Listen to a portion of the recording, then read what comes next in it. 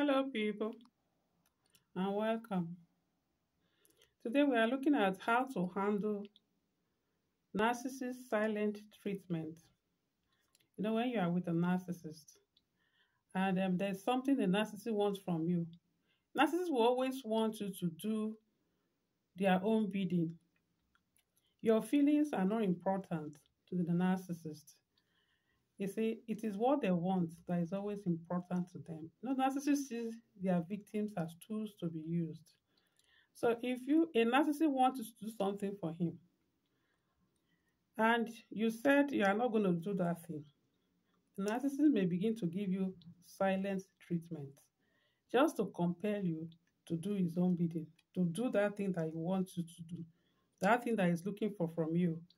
He will begin to ignore you he may not want to talk to you again. He may not be picking your calls again. If you talk to him, he will not respond. He will not communicate with you. Just to get you to get you to do that thing that you want to do. But you can handle that.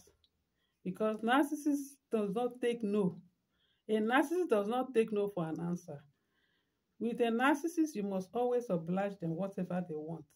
Whatever they are asking from you or seeking, they must get it because they don't take no for an answer. That's why they do everything possible, regardless of what they do to other what the, the way other people feel feel from the things they do does not concern a narcissist. A narcissist is always there to get whatever you want. He will go, he will do everything possible to get what he wants. So if you want you to do something for him, maybe he's demanding something from you, and you say no, a narcissist will feel offended. You have done something really bad to a narcissist by saying no. Even if it's something, your own thing that you want to get, and you say, no, I can't give you that. I need it. A narcissist will feel offended.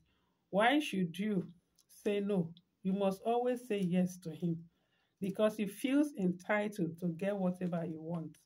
So when you, you want something from you, he will begin to and you said no to that thing, a narcissist will begin to give you a silent treatment.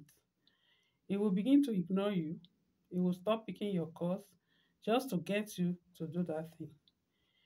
If a narcissist is doing that to you, what you can do, ignore him. If he ignores you, ignore him. If he stop talking to you, stop talking to him. If he stop picking your calls, don't pick his calls even when he now think because at some point he will begin to think he will begin to think that oh this woman is really serious. Okay she doesn't want to do this thing. Even when he start picking he starts calling you still don't answer his calls. Keep ignoring him. You see because narcissists will always do that. They do that to get whatever they want. And but the issue the problem here is that most women get so desperate. They get frustrated. They get worried when they be, the narcissist begin to give them the silent treatment, they begin to feel that, oh, this man is going to get another woman. Maybe if I don't do that, he may not be serious with me again. Uh, the way he's behaving, he's not picking my calls, he's not communicating with me. What if he gets another woman? Don't bother about whether he gets another woman. If he's giving you that silent treatment, ignore him. That is how you can get back to a narcissist. When you ignore him, he will come looking for you. When you ignore him, you will be able to say no to every other thing the narcissist requests from you. Start learning how to say no to a narcissist so that he will not make you his permanent slave. I hope this helps.